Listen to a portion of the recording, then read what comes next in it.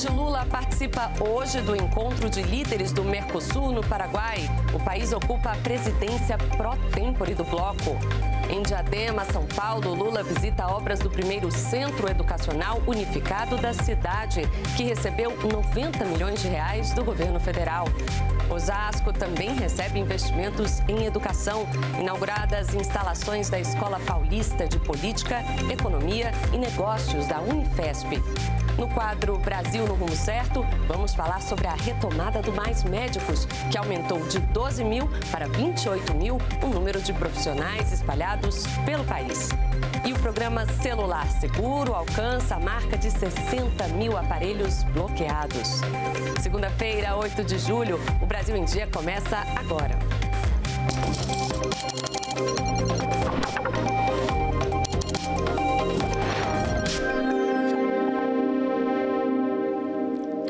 Olá, seja muito bem-vindo ao canal Gov. Lembrando que você pode nos acompanhar também ao vivo pelas redes sociais.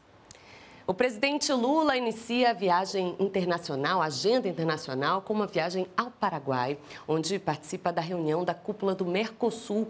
Quem tem os detalhes ao vivo para a gente é o repórter Pablo Mundim, que está lá na capital Assunção. Bom dia, Pablo. Bom dia, Vanessa. Bom dia a você que nos assiste. O presidente Lula chega logo mais aqui em Assunção por volta das 9 horas da manhã, horário local, 10 horas, horário de Brasília. O presidente desembarca e virá direto para a cúpula dos chefes de Estado do Mercosul, encontro que acontece aqui no prédio histórico de Porto, na região central da capital paraguaia. A plenária do Mercosul está previsto para começar às 11 horas, horário de Brasília, e o primeiro discurso será do anfitrião, o presidente paraguaio Santiago Penha. Logo depois, o presidente Lula vai falar por 15 minutos. Às duas da tarde, os presidentes participam da foto oficial no Palácio de Lopes, sede do governo paraguaio, que fica aqui a menos de 100 metros, onde também haverá um almoço. Pela tarde, Lula vai participar de duas bilaterais. Às quatro horas com o presidente do Panamá, José Raul Mulino, e às quatro e meia com o presidente do Paraguai, Santiago Penha. Esses encontros acontecem no Palácio de Lopes e no final da tarde, às cinco horas, o Lula embarca para Santa Cruz de la Serra, na Bolívia. Aliás, a Bolívia é a novidade dessa cúpula em Assunção. Foram quase 10 anos de espera e agora oficialmente a Bolívia é o novo país membro do bloco, ao lado do Brasil, Argentina Argentina, Uruguai e Paraguai, além da Venezuela, suspensa por falta de normativas técnicas. O Mercosul é um importante bloco comercial, tem a sétima maior economia mundial, com cerca de 3 trilhões de dólares, mas também é um fórum de integração regional, respeito aos direitos humanos, estabilidade política e defesa da democracia. Este foi um dos temas do discurso do ministro das Relações Exteriores, Mauro Vieira, durante a reunião ordinária plenária da cúpula ontem. O chanceler brasileiro lembrou os atos golpistas de 8 de janeiro e se solidarizou a Bolívia, que sofreu tentativa de golpe recente. O encontro dos presidentes na cúpula do Mercosul é hoje, mas os acordos foram assinados no domingo pelos ministros dos países membros. São investimentos e medidas para fortalecer o comércio regional, maior participação da sociedade civil no Mercosul e colaboração nas áreas de segurança e cultura. Veja na reportagem. O Mercosul é um bloco de livre comércio entre os países membros que reduz barreiras tarifárias e aumenta o poder de negociação com outros compradores. Deu tão certo que é hoje a sétima maior economia do mundo, responsável por quase 70% do produto interno bruto da América do Sul. O Mercosul concentra cerca de 3 trilhões de dólares China, União Europeia e Estados Unidos foram os principais destinos de exportação de produtos como soja, petróleo e minério de ferro. Entre os membros, o Brasil exportou para o bloco no ano passado mais de 23 bilhões de dólares e importou 17 bilhões de dólares, com superávit de 6 bilhões e 500 milhões de dólares. Entre os principais produtos brasileiros estão os manufaturados, automóveis, peças automotivas, energia e soja. A grande vantagem desse comércio é que é um comércio com valor agregado e é uma coisa que é muito importante para a indústria brasileira. Foi aqui na sede do governo em 1991 que Brasil, Argentina, Uruguai e Paraguai assinaram o Tratado de Assunção. Assim, nasceram as regras e as condições para a criação do Mercado Comum do Sul, o Mercosul. Em mais de três décadas, o bloco ganhou mais robustez, conquistou novos mercados e agora vai ter mais um membro. Com a Bolívia oficialmente integrada, o Mercosul passa a ser composto por seis países. Além de Brasil, Uruguai, Argentina e Paraguai, a Venezuela também é membro, mas está suspensa por falta de normativas técnicas para entrar no bloco. Foram quase 10 anos de espera para os bolivianos entrarem. Os bolivianos, nesse processo, se deram conta de que o Mercosul realmente é uma oportunidade para uh, aumentar as suas exportações de produtos com valor agregado.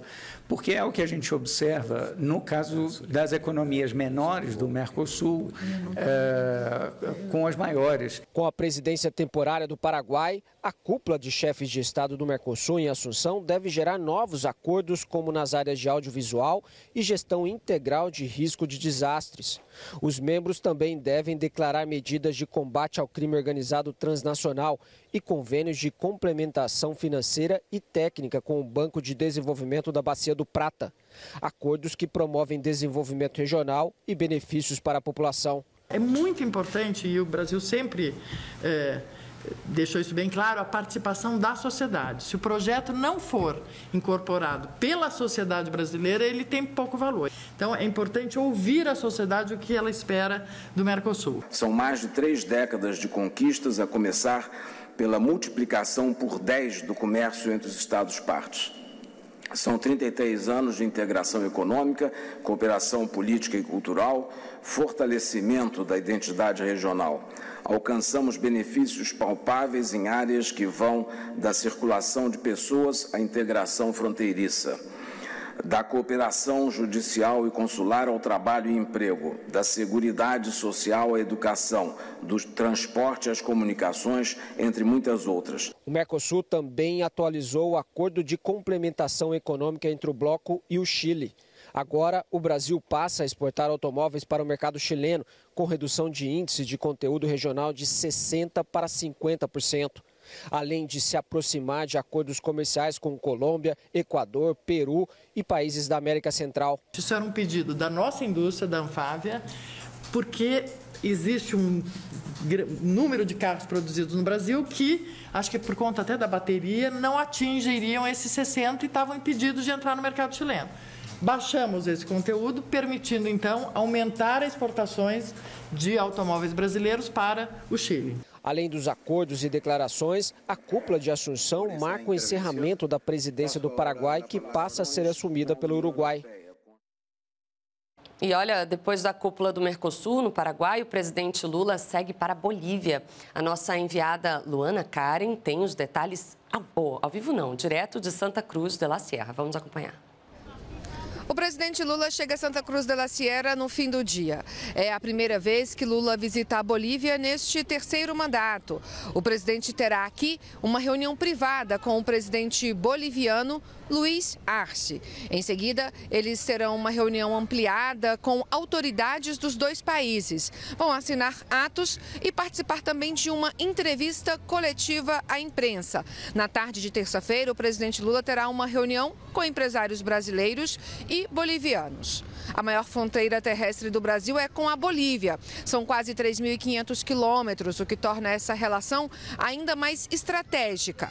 Os dois países têm cooperação em áreas como energia, com o Brasil comprando gás natural da Bolívia e cooperação também em combate a ilícitos na fronteira. O Brasil é o principal parceiro comercial da Bolívia e destino da maior parte das exportações do vizinho sul-americano. Já o Brasil vende para a Bolívia manufaturados, máquinas e aparelhos para terraplanagem e perfuração.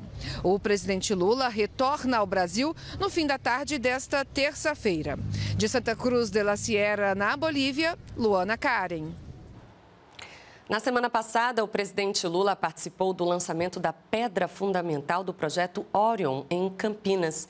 Trata-se de um conjunto de laboratórios onde serão feitas pesquisas avançadas sobre vírus, bactérias e outros patógenos. A previsão de investimentos por meio do novo PAC é de um bilhão de reais até 2026. Quem explica melhor para a gente esse projeto é Rafael Elias Marques, ele que é o pesquisador líder do Departamento de Virologia do Centro Nacional de Pesquisa em Energia e Materiais, onde o Orion será construído. Bom dia, muito obrigado por participar aqui do Brasil em Dia. Bom dia, Vanessa. Bom dia a todos os telespectadores. Rafael, eu gostaria que o senhor explicasse para os telespectadores, para a gente, o que será esse laboratório Orion, o que, que ele vai possibilitar aos cientistas brasileiros. Bom, Vanessa, como você mesma disse, o Orion vai ser um complexo de laboratórios. Então, quando eu digo complexo de laboratórios, quer dizer que nós vamos ter é, laboratórios em diferentes níveis de biossegurança, que vão, por exemplo, do nível 1, que seria o menos perigoso, até o nível 4, que exige as maiores medidas de biossegurança possíveis existentes na atualidade. Além dessas diferenças de níveis de biossegurança, nós também teremos uma variedade de capacidades científicas para que os pesquisadores da comunidade científica e de outros setores da, da, da sociedade em geral possam utilizar o Orion para suas pesquisas, para os seus avanços tecnológicos. Certo. Na semana passada, no lançamento da Pedra Fundamental, a ministra da Saúde, Nízia Trindade, disse que esse laboratório pode ajudar o Brasil a, a, enfrentar aí uma possível nova epidemia e também dar mais soberania para a ciência né, no país. Eu queria que o senhor explicasse para a gente, na prática, como que o laboratório pode ajudar nesse sentido. Vanessa, o Orion ele é um, um complexo de laboratórios que serve para estudar doenças e agentes infecciosos. E na, no, na atual época que nós vivemos, a emergência dessas doenças tem sido algo extremamente perigoso para o bem-estar das populações, dos países e, de certa maneira, é, é, tornando mais complicada a nossa qualidade de vida. A soberania se dá justamente pela capacidade que o Orion provê de permitir que países como o Brasil possa, possa estudar é, patógenos de alta e máxima periculosidade. Por exemplo, nessa questão da soberania, nós temos o vírus sabiá, que é um vírus risco 4. Até hoje ele foi o único é, encontrado em território brasileiro. E hoje nós, pesquisadores do Brasil, não temos condições de estudar o vírus sabiá porque nós não temos a infraestrutura adequada para fazê-lo. E o Orion vem para mudar isso. Então, eu acho que a soberania vem nesse quesito de permitir que nós é, consigamos estudar as doenças que, que circulam no território nacional e também de nos proteger contra as futuras pandemias. Porque vírus como SARS-CoV-2 circularam todo mundo, mesmo não, não tendo originado no Brasil, eles afetaram a população brasileira de maneira muito significativa. Então, o ORO vai permitir que a gente se defenda dessas novas pandemias, desses novos agentes infecciosos que venham a emergir. Agora, Rafael, a gente enfrenta um problema histórico aqui no Brasil, que é a fuga de cérebros, né? Vamos dizer assim, os cientistas brasileiros muitas vezes optam por sair do país para ter mais condições aí de realizar as pesquisas. Você acredita que um investimento como esse Orion pode ajudar a enfrentar esse problema de segurar esses cientistas aqui no Brasil? Vanessa, definitivamente ajudaria. Então, acho que o CNPEM já lidera um pouco essa iniciativa em função do Sirius, que é um, um, equipamento, um acelerador síncroton de ponta, um dos poucos do mundo, com a qualidade é, é, técnica e da possibilidade de pesquisas que ele é, oferece. O Orion também vai ser uma dessas máquinas de ponta. Então, um laboratório, um complexo de laboratórios que permite que você estude basicamente todas as doenças que existem, doenças infecciosas que existem, e o Orion estará ligado ao Sirius. É, isso permite, por exemplo, que nós possamos realizar experimentos com luz síncroton, que é o produto principal do Sirius, dessa maneira, em pesquisas na área biomédica que podem ser feitas dentro do Orion. Essa combinação de laboratório NB4 com LU5 então vai ser a primeira no mundo.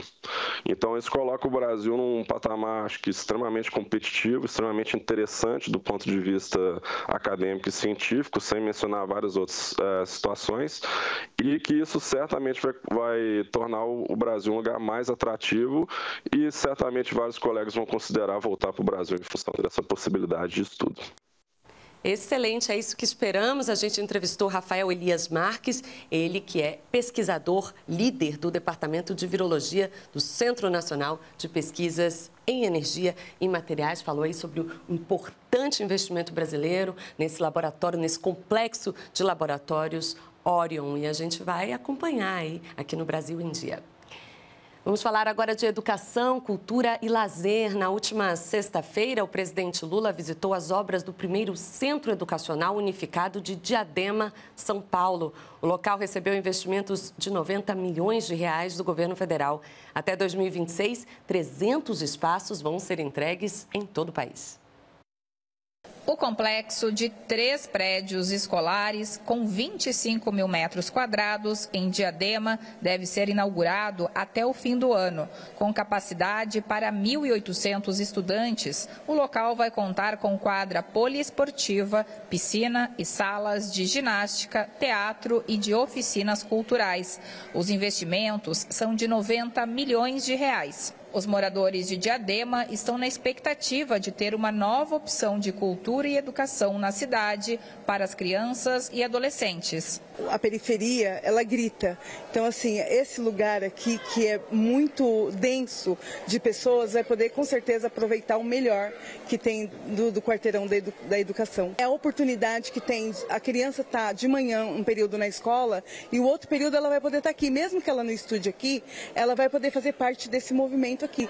Tem esporte, cultura e lazer. Com o céu da educação vai abrir mais oportunidades, tanto para os jovens como cultura, lazer para as crianças, as escolas, enfim, é uma, uma maravilha para a nossa cidade. Os céus da cultura são equipamentos de caráter comunitário e são construídos em regiões de maior vulnerabilidade socioeconômica. Fazem parte da iniciativa do governo federal de ampliar o acesso à infraestrutura cultural e até 2026 devem ser construídos 300 espaços como este no país. Os céus da cultura são custeados com recursos da Política Nacional Aldir Blanc, vinculados vinculados ao novo Programa de Aceleração do Crescimento, PAC Seleções.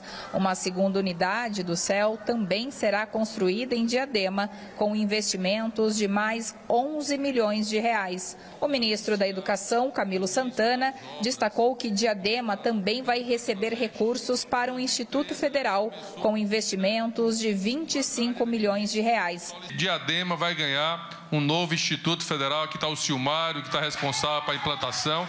E a ideia aqui, presidente, é a gente comprar já um equipamento, já um prédio que está construído.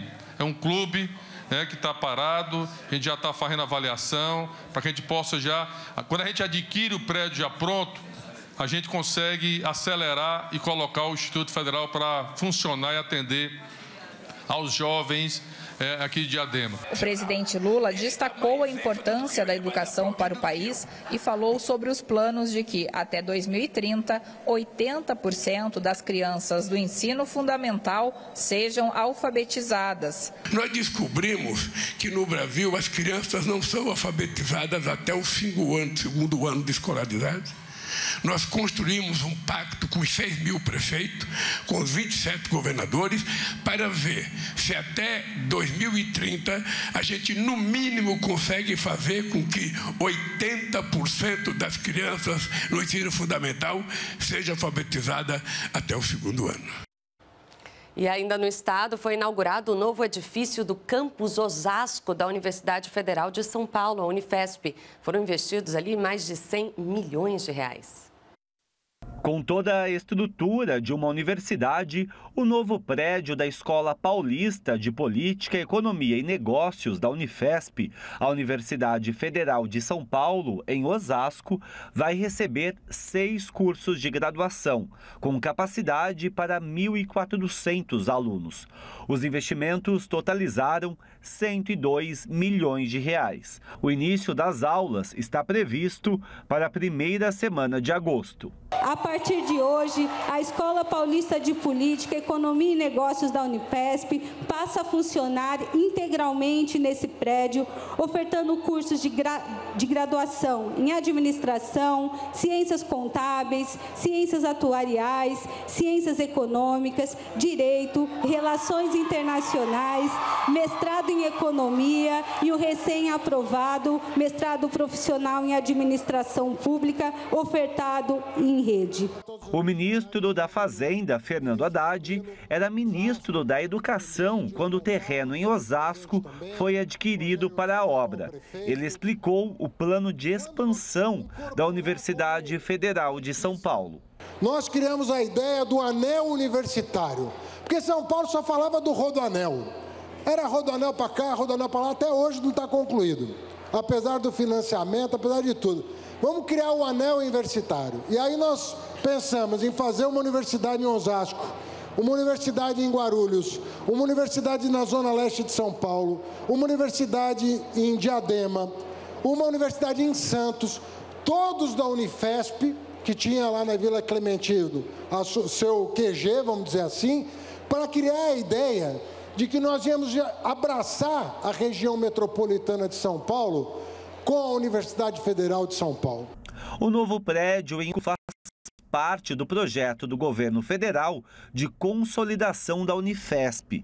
Por meio do novo PAC, serão investidos quase 145 milhões de reais. Dentre as futuras obras estão previstos um campus na zona leste de São Paulo e um hospital universitário na zona sul da cidade. Os últimos anos negaram desmontaram os investimentos nas nossas universidades. Precisou agora o presidente Lula voltar e semana passada nós estivemos lá para dizer que nós vamos construir o campus da Universidade Federal da Zona Leste do Estado de São Paulo. Para universidades e institutos federais no estado de São Paulo, o governo federal vai investir, por meio do novo PAC, mais de 900 milhões de reais. São projetos de consolidação e expansão das instituições presentes em 40 municípios do estado. O presidente Lula, presente no evento, destacou a ampliação das universidades federais no estado e defendeu educação para todos. Nós queremos é que uma filha de uma empregada doméstica possa ser médica, possa ser dentista, possa ser engenheira. É isso que nós queremos. Nós não queremos uma sociedade dividida pelo berço que a pessoa nasceu. O papel do Estado é garantir a todos, independentemente da religião, independente da raça, independente do tipo de futebol, independente da condição financeira, nós queremos garantir a todos a mesma oportunidade. Que entre numa sala de aula a filha da doutora com o filho da empregada doméstica e que estudem e disputem a vaga. Veja a seguir mais médicos no quadro Brasil no Rumo Certo. Vamos falar sobre a retomada do programa, que aumentou de 12 mil para 28 mil o número de profissionais. E prorrogado o edital do programa Cozinha Solidária. Voltamos em instantes.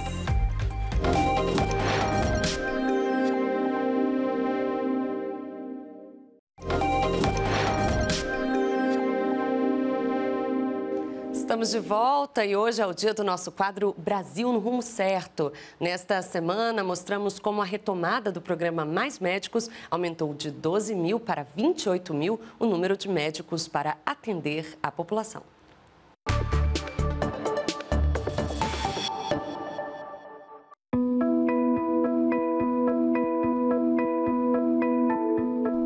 Atendimento em todo o Brasil, o programa Mais Médicos chega nas regiões onde a população mais precisa: aldeias indígenas, comunidades carentes, quilombolas. Cuidados e atenção à saúde primária gratuitamente ofertados pelo Sistema Único de Saúde. A volta do Mais Médico de forma apoteótica é uma coisa extraordinária para esse país. Eu tenho dito para a Nívia que nós precisamos mostrar ao mundo, todo santo dia, que o SUS não é apenas grande. O SUS é o melhor sistema de saúde pública que um país de mais de 100 mil habitantes tem. Hoje existem evidências consolidadas de que o programa conseguiu prover profissionais para as áreas mais vulneráveis, ampliou o acesso na saúde da família, diminuiu internações hospitalares e a mortalidade infantil. No Recanto das Emas, em Brasília, o doutor Márcio é o guardião de mais de 4 mil pessoas da comunidade. Especialista em cuidar de pessoas, Márcio faz parte do programa. A especialidade da medicina de família, para mim, é como se fosse especialista em pessoas, não exatamente em um órgão. E aí você conseguisse juntar isso percebendo que você é necessário para essa população. Por isso que uma, da, uma das coisas, uma das frases importantes, né, um dos caminhos a serem estudados, que a gente vive estudando dentro da especialização de medicina de família é que o médico é um recurso da comunidade. Eu acho que o médico que quer ser médico de família, ele tem que compreender primeiro isso. Seja lá qual for o profissional, se você é o recurso de alguém, de 4 mil e poucas pessoas, você tem que assumir uma postura firme com relação a isso e a essência disso, né? O programa Mais Médicos tem mais de 25 mil profissionais em todo o Brasil. Com mais de 10 anos, o programa agora vai ser ampliado pelo Ministério da Saúde. Serão mais profissionais especializados na rede pública de saúde, com mais atendimento e cuidado com os brasileiros. O novo edital do Mais Médicos que está saindo agora. o novo edital do Mais Médicos, que está repondo vagas, então ele segue a linha que o presidente Lula iniciou o ano passado e que eu agradeço ao parlamento brasileiro. Quando nós assumimos, presidente Lula, havia ainda 12 mil médicos no programa. Com esse edital, nós retomamos aquela nossa meta dos 28 mil médicos numa saúde da família que hoje permite extensão de horário. Com o novo edital do Ministério da Saúde, serão mais de 3 mil vagas em cerca de 1.500 cidades. Pela primeira vez, serão oferecidas vagas no regime de cotas para pessoas com deficiência e grupos étnico-raciais, como negros, quilombolas e indígenas. Com a retomada do programa em 2023, o governo federal implementou melhorias no modelo. Com a Estratégia Nacional para a Formação de Especialistas, por exemplo, o Mais Médicos deve ter nos próximos anos pelo menos um especialista em cada equipe de saúde da família. Com mais de 28 mil vagas preenchidas em 82% do território nacional em 2023, o programa Mais Médicos teve aumento de 105% no número de profissionais. Todos os 34 distritos sanitários indígenas foram integrados ao Mais Médicos. No território Yanomami, o número de profissionais passou de 9 para 28. Ao todo, 977 novos profissionais atuam na saúde indígena. O mais médico é, no fundo, no fundo, levar aos mais longínquos rincões deste país e a maior periferia abandonada que nós temos, o direito do cidadão ser atendido decentemente por profissionais especialistas na saúde. Seja enfermeira, seja atendente de enfermagem, seja um médico. A maioria das pessoas, o médico tem que estar presente, conversando com a pessoa, discutindo com a pessoa quando você é o recurso, você também é uma ponte daquilo para o alcance das coisas. A gente sabe, por exemplo, que uma pessoa em situação de rua, ela tem o direito igual a qualquer um, mas ela vai ter muitas altas exigências nos lugares que ela chegar. Quando tem um médico, um profissional de saúde que está servindo também como ponte para ele, vai facilitar um pouco para ele, mas na verdade de um direito já adquirido por ele. Ele não passa a ter o direito, ele já tinha o direito e alguém se propõe né, a ajudar aí que ele realmente consiga conquistar esse direito.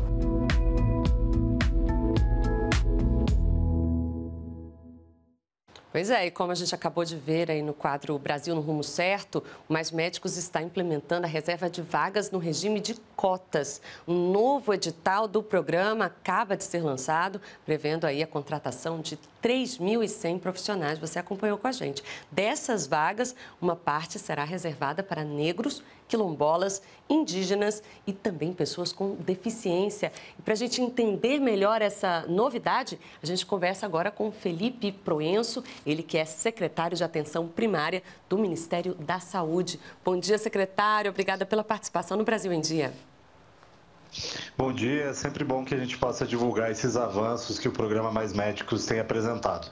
É isso aí, secretário. Eu queria que o senhor explicasse para a gente como vai funcionar esse sistema de cotas e por que o Ministério decidiu implementar o sistema de cotas no programa Mais Médicos.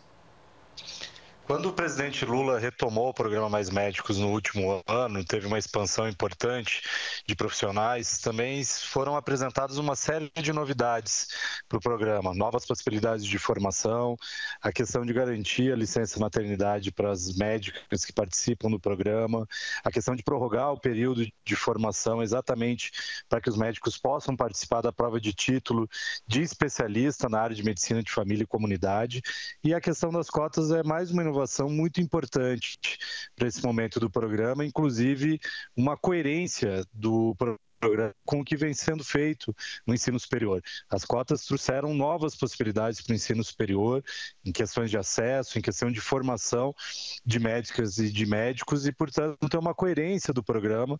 Agora, quem vai ingressar no Mais Médicos também observar esse regime de cotas. Então, 20% das vagas são destinadas para as cotas étnico-raciais, para a população negra, para é, quilombolas, para a população indígena, e 9% das vagas são reservadas para pessoas com deficiência. Essas vagas elas são observadas a depender da localidade.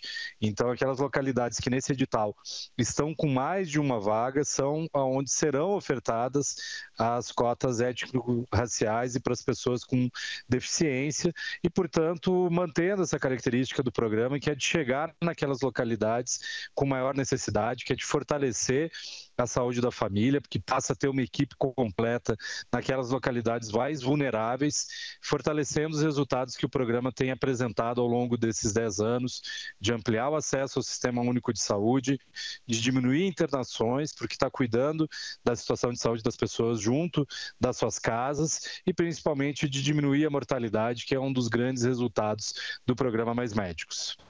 Pois é, e entre essas novidades tem também essa previsão aí de uma ajuda de custo para os médicos brasileiros formados no exterior, para que eles participem aí do módulo de acolhimento e avaliação. Explica para a gente como que se dá essa ajuda, secretário.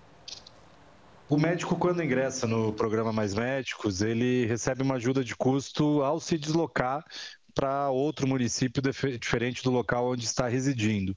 Por exemplo, um médico que sai de uma região no sul do país e que vai para o norte desenvolver essas atividades num município de alta vulnerabilidade na região norte do país, ele recebe três bolsas de ajuda de custo para que ele possa se instalar, para que ele possa é, realizar essa mudança, então, no local onde está desenvolvendo essas atividades. Para aquele médico que é formado no exterior, é necessário que ele passe por um módulo de acolhimento e avaliação, onde ele vai conhecer mais sobre os protocolos do Sistema Único de Saúde, sobre a organização do Sistema Único de Saúde, de quais são as orientações nacionalmente para o cuidado com as diferentes populações. E para isso, ele fica então um período de três semanas numa localidade em que o Ministério da Saúde organiza esse módulo de acolhimento e avaliação.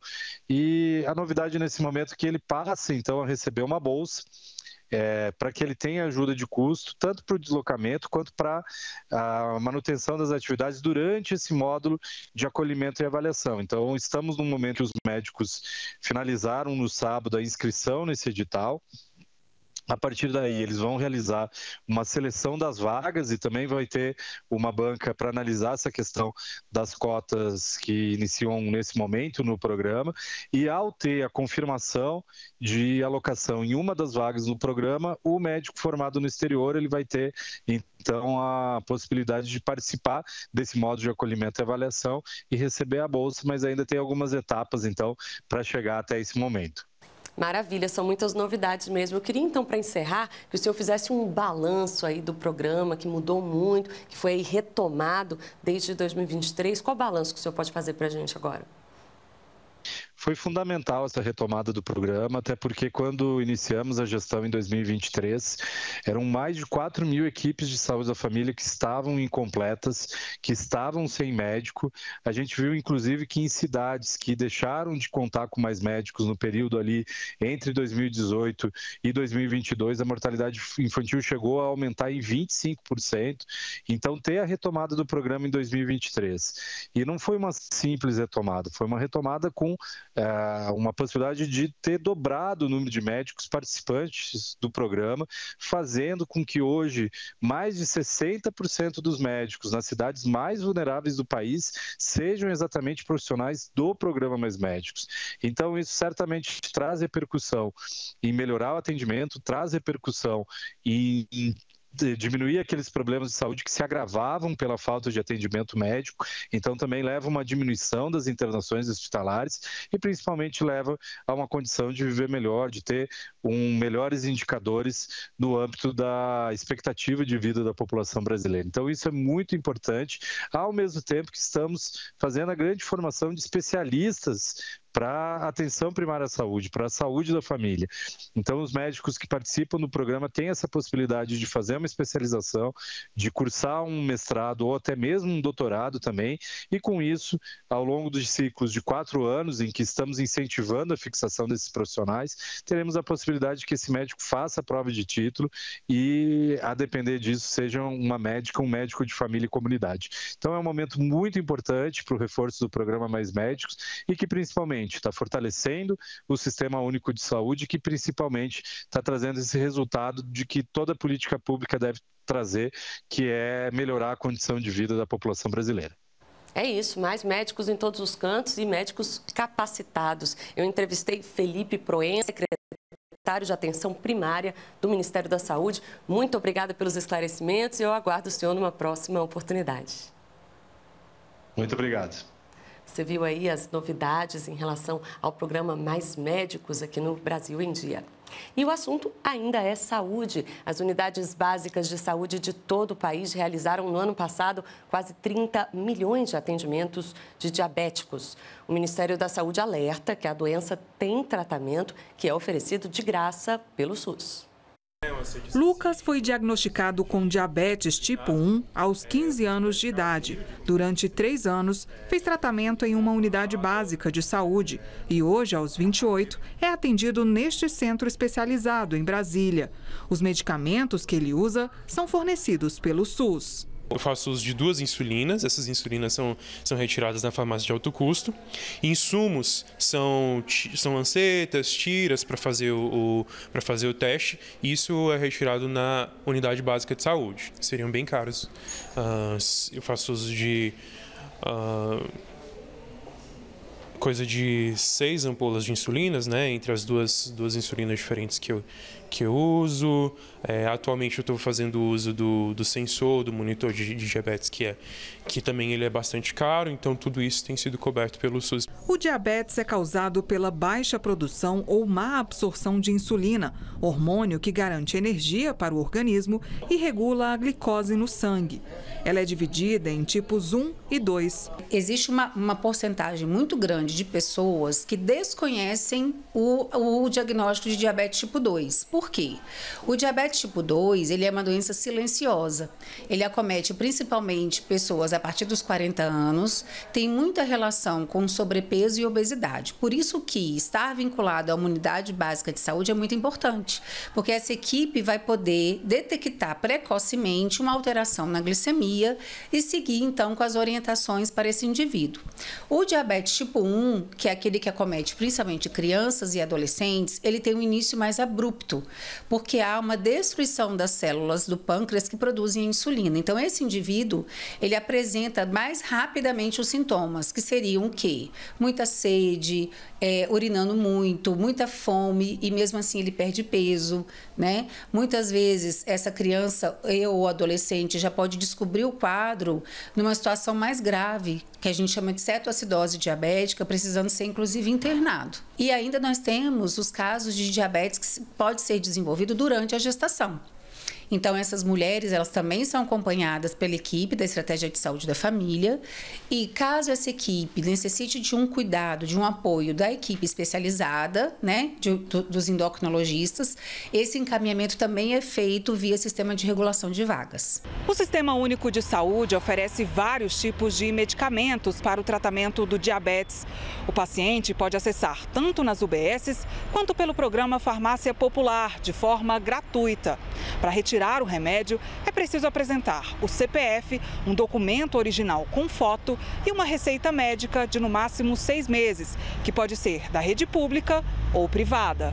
De acordo com o Ministério da Saúde, de 2022 para cá, cerca de 36 milhões de pessoas com diabetes receberam atendimento ambulatorial pelo SUS. Mais de 100 tipos de exames e procedimentos estão disponíveis na rede pública. O Ministério da Saúde dispõe, sim, de uma linha de cuidado. As pessoas que podem estar apresentando algum sinal e sintoma, né, é, relacionado a diabetes tipo 2, o ideal é que ela vá até uma unidade básica de saúde, que a gente conhece como posto de saúde, e que ela possa né, dialogar com a equipe de saúde da família na perspectiva de dizer né, desses sinais e sintomas, para que a gente possa né, ofertar para ela o teste de glicemia, né, em jejum, e aí a gente conseguir olhar para esses valores, né, após a realização do exame, do que é que a gente encontra, né, de diferença, se está alterado ou não esse exame. No mês de abril, o governo federal inaugurou uma indústria de insulina no município de Nova Lima, em Minas Gerais, que poderá atender mais de 1 milhão e 900 mil pacientes. Com investimento de 800 milhões de reais, a fábrica vai produzir até 20 milhões de unidades de ampolas de insulina por ano e também vai fabricar canetas de insulina. Além disso, terá capacidade de produzir 20 milhões de frascos de outros biomedicamentos. Os medicamentos eles são disponíveis no SUS e a gente precisa estar próximo dessas pessoas para que a gente consiga apoiar esse cuidado no seu dia a dia. E o edital do programa Cozinha Solidária, que conta com investimento de 30 milhões de reais, foi prorrogado. O projeto faz parte do compromisso do governo federal com o fortalecimento da segurança alimentar e nutricional, além da promoção da inclusão social. E quem traz os detalhes para a gente é o repórter Dimas Soldi, ao vivo lá de São Paulo. Bom dia, Dimas. Oi, Vanessa, bom dia a você, bom dia a todos. Olha, o prazo para as cozinhas solidárias apresentarem as propostas foi prorrogado, então, até a próxima sexta-feira, dia 12. O investimento do governo federal é de 30 milhões de reais nessas iniciativas. O programa Cozinha Solidária fornece alimentos, ajuda no funcionamento e também na formação dos colaboradores dessas cozinhas. Podem participar desse projeto projeto entidades sem fins lucrativos que estejam credenciadas junto ao Ministério do Desenvolvimento Social. Atualmente, mais de duas mil cozinhas solidárias atuam no país. O programa é uma das iniciativas do governo federal que tem como objetivo tirar o Brasil do mapa da fome.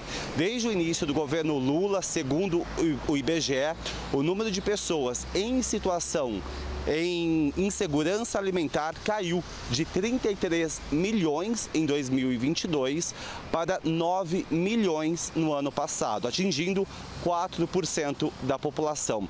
O anúncio da prorrogação para participar desse programa foi feito na semana passada, na sexta-feira, aqui em São Paulo. O ministro Wellington Dias falou sobre a importância desse programa. Vamos ver. Alimento no prato, comida de verdade. Agora, nesse edital, São mais 30 milhões que estamos liberando para fortalecer as cozinhas solidárias. Sabemos que ainda temos que alcançar pessoas que ainda não chegamos. E a cozinha solidária, ela chega lá em cada comunidade da periferia, da população de rua. E sempre esse cuidado, alimento saudável da agricultura familiar. O MDS, diretamente, junto com o LDA e a FUNAB, com as entidades, e a gente chega a quem precisa. É uma ação não só de solidariedade, mas também de cidadania. É a garantia de condições de mais alimentos chegando para quem mais precisa, em São Paulo e no Brasil.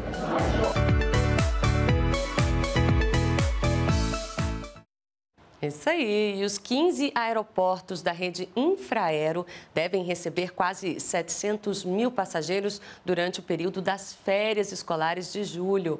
Estão programados 6.665 voos no período, entre pousos e decolagens. Quem tem as informações para a gente, direto do Rio de Janeiro, é Alessandra Lago, ao vivo. Bom dia, Alessandra. Oi, Vanessa, bom dia para você, bom dia a todos. Exatamente, no mês de julho, as férias, eh, as férias escolares movimentam os aeroportos do país e os 15 aeroportos da rede Infraero devem receber cerca de 700 mil passageiros neste período. O aeroporto Santos Dumont, aqui no Rio de Janeiro, é o que receberá mais passageiros. Estão, são esperados pouco mais de 600 mil viajantes em 5.394 voos. O aeroporto de Passo Fundo, no Rio Grande do do Sul é o segundo mais movimentado. Por lá, devem passar cerca de 24 mil pessoas em 174 voos programados. Já o aeroporto de Jericoacoara, no Ceará, deve receber 23 mil passageiros em 218 voos. E para que a viagem seja mais tranquila, a Infraero faz algumas recomendações aos passageiros, como chegar no aeroporto com pelo menos uma hora e meia de antecedência para voos domésticos e três horas para voos internacionais medidas de segurança foram reforçadas. E no aeroporto, se o passageiro precisar de algum auxílio, pode procurar os amarelinhos da Infraero, que são funcionários que usam coletes amarelos. Também vale dar uma olhada, Vanessa, no Guia do Passageiro, elaborado pela Agência Nacional de Aviação Civil, a ANAC. Esse guia conta com informações sobre viagens e direitos e responsabilidades dos passageiros e das companhias aéreas. A gente volta com você. Ok, Alessandra, obrigada pelas informações. Bom trabalho para você. Veja a seguir: programa Celular Seguro alcança a marca de 60 mil aparelhos bloqueados e foram retomados os trabalhos da Comissão Especial sobre Mortos e Desaparecidos Políticos. A gente volta já já.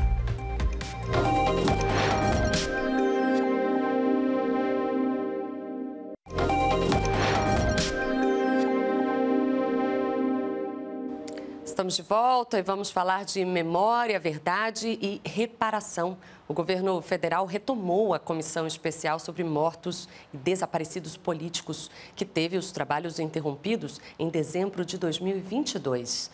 Vamos chamar a repórter Jéssica Gonçalves, que está lá no Palácio do Planalto.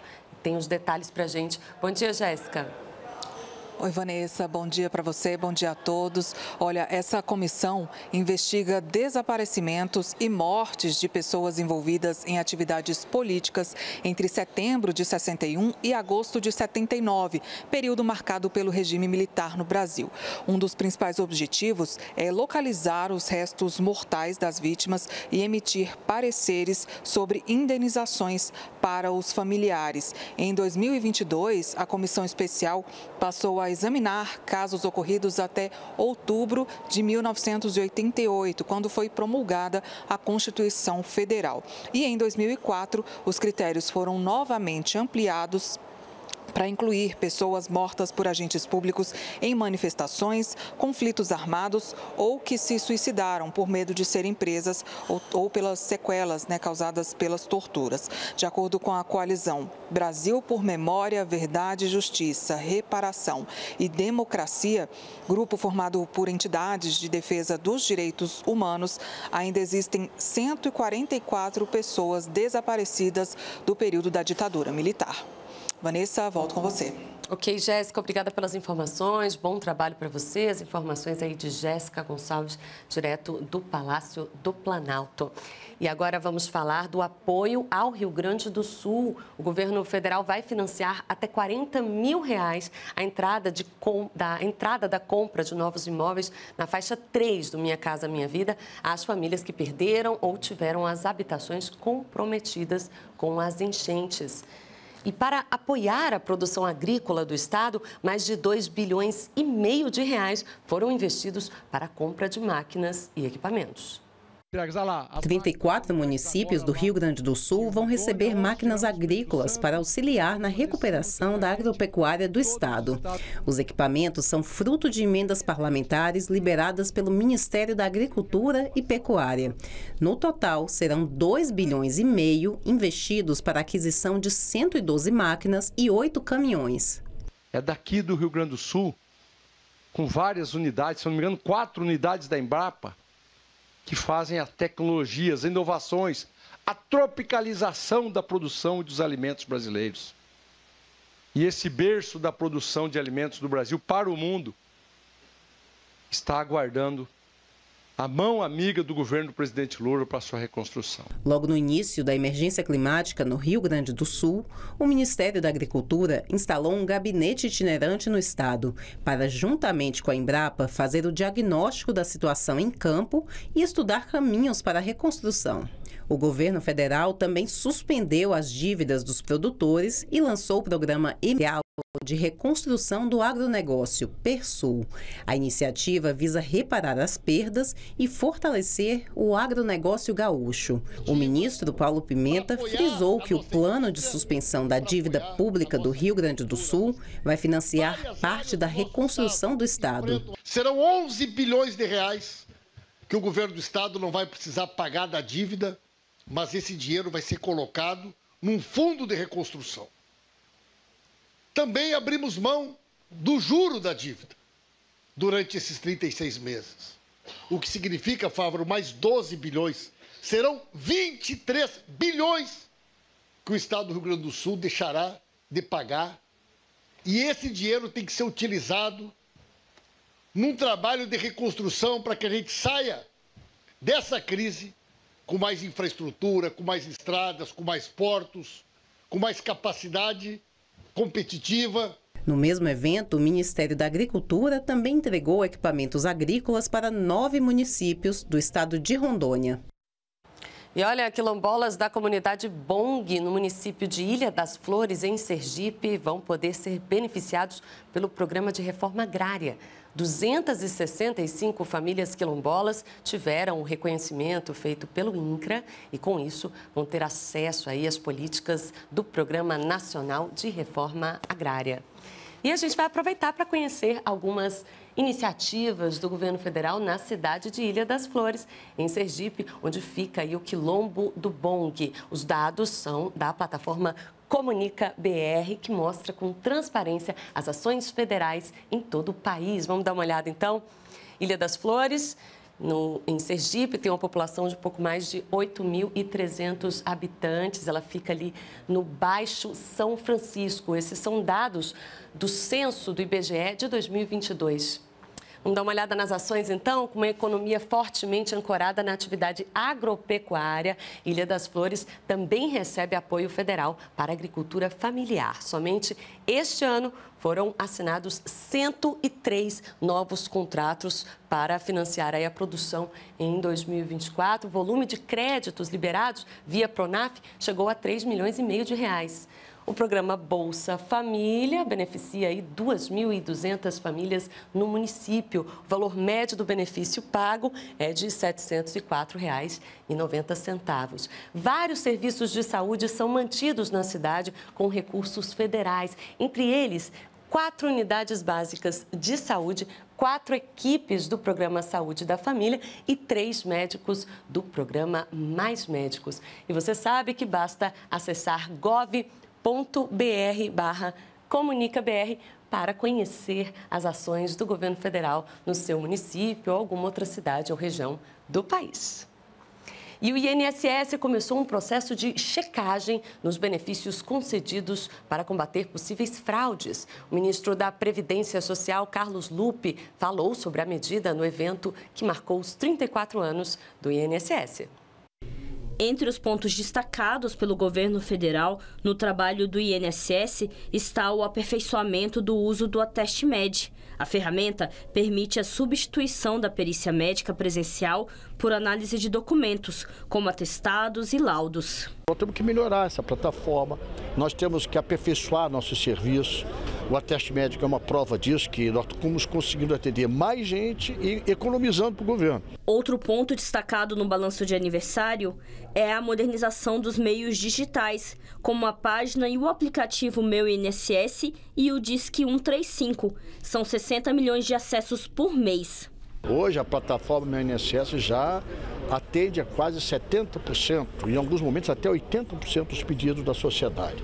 O INSS também destacou a agilidade para analisar os benefícios. O tempo médio de concessão caiu para 37 dias, menor que o prazo legal de 45 dias. E a expectativa é que esse tempo caia ainda mais. O mais importante é que a gente traga os estados da federação que não tem ainda, não está nessa média, estão acima da média, né? porque a média, Baixa. claro, tem esse problema, baixar para que a gente possa tratar todos os brasileiros iguais. O Ministério da Previdência Social lembrou das últimas medidas medidas para melhorar o atendimento do INSS, como os investimentos no quadro de pessoal, com a posse de 1.276 novos servidores. Os Prev-Barcos, que levam atendimento para as populações ribeirinhas, foram reformados. E para ampliar a rede, o INSS tem firmado parcerias com prefeituras e agências dos Correios para ampliar a oferta de serviços no interior do país. O governo federal também está investindo na humanização do atendimento. A adoção de salas multissensoriais especiais para autistas é uma das ações. É isso que eu quero partir como meta para ver. Ter gente na, nas todas as 1.600 agências, gerências da Previdência Social e ter essa sala multissensorial em todas as salas que forem possíveis, que é muito grande o contingente de crianças com algum aspecto autista hoje, é muito grande. O ministro da Previdência Social também falou sobre a revisão dos benefícios do INSS para combater fraudes e controlar gastos ver onde estão essas irregularidades, como foi cometida. Isso está sendo construído em parceria dentro do próprio INSS com a nossa perícia, o setor de, da diretoria de perícia médica. 800 mil pessoas em torno de um pouquinho mais, um pouquinho menos, que poderão é, ter que fazer essa nova perícia para confirmar ou não o seu benefício. É claro que tem irregularidade, claro que tem. Nós temos que corrigir esses erros. E nós da Previdência já estamos dando uma grande contribuição para a Receita Federal, diminuindo nossos custos, melhorando nosso atendimento, tendo mais agilidade e vamos dar mais ainda quando a gente vai começar a checar possíveis irregularidades. Quem tiver sem direito ao seu benefício será cortado, porque aqui a gente tem que dar direito a quem tem direito. E o aplicativo Celular Seguro, que impede o uso do telefone móvel em caso de perda, roubo ou furto, alcançou a marca de 60 mil aparelhos bloqueados. E os alertas e pedidos partiram dos próprios usuários. Em seis meses de lançamento da ferramenta digital, já foram efetuados mais de 60 mil bloqueios referentes à perda, roubo e furto de aparelhos. E os alertas partiram dos usuários. A Ilvanice Santos foi uma das primeiras a baixar o aplicativo por saber da importância desse aparelho na sua rotina. Ele é um bem muito cobiçado, o celular, né, pelos, pelos assaltantes. Então, é, a gente geralmente é roubado, alguma coisa assim, né? Então, e esse aplicativo gerou essa segurança para mim. Assim como Ivanice, mais de 2 milhões de cidadãos em todo o país já baixaram o aplicativo Celular Seguro. E em abril deste ano, a ferramenta foi atualizada, tornando o processo de registro mais simples e as comunicações de furto, de roubo ou de perda mais eficazes. Você precisava colocar um código no aparelho para que você conseguisse visualizar o e-mail e aí sim fazer o cadastro. E as pessoas tinham muita dificuldade nisso. Então nós atualizamos o aplicativo e uma das atualizações que foram implementadas foi a facilidade no cadastro. A pessoa agora não precisa mais colocar o e-mail, basta colocar o seu número telefônico e deixa que o e-mail a gente consegue para vocês. Mas as inovações no aplicativo não param por aqui. Nos próximos meses, a ferramenta vai proporcionar ainda mais segurança aos usuários, em especial aqueles que pensam em comprar um celular usado. Digamos que o seu vizinho vem, olha, meu irmão está vendendo o um aparelho telefônico. É um negócio perfeitamente legal, mas você não sabe a procedência daquele aparelho. A gente vai disponibilizar a opção de você fazer uma consulta online daquele e-mail, daquele número de aparelho, para você conferir se tem um alerta de furto ou roubo. Às vezes alguém fez um boletim de ocorrência em algum local que aquele aparelho foi roubado e está sendo comercializado. Existe um comércio ilegal por trás disso. O ministro de Portos e Aeroportos, Silvio Costa Filho, e o vice-presidente Geraldo Alckmin estiveram na Baixada Santista para inaugurar o Parque Valongo, na área portuária de Santos. Esta é a primeira etapa da obra, que custou 20 milhões de reais, adquiridos por meio de uma parceria com a rede privada. O Parque Valongo está sendo construído aí no Centro Histórico de Santos. Você vê as imagens. Essa área foi revitalizada para resgatar o contato dos santistas com o cais do porto. Os antigos armazéns, palcos das primeiras operações portuárias há 132 anos se transformaram num espaço público voltado para o lazer, o turismo e a gastronomia. Toda a estrutura foi coberta e climatizada para receber shows e eventos. A obra, construída por meio de uma parceria público-privada, pretende impulsionar a geração de empregos e a movimentar aí os negócios na região. Significa emprego, crescimento do PIB, melhoria da renda da população.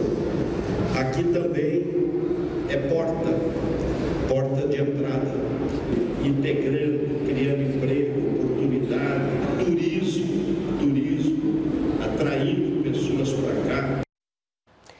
Nauru e Piatã. Esses são os nomes dos filhotes de onça resgatados pela Polícia Militar em Itaituba, no Pará, na região portuária da cidade. Os bichinhos foram transportados por via aérea para um centro especializado em animais resgatados na capital Belém. Toda essa operação foi coordenada por uma equipe do Instituto Chico Mendes de Conservação da Biodiversidade, o ICMBio. Agora, os pequenos filhotes passarão por exames e cuidados até que tenham a idade suficiente para reintrodução ao habitat natural.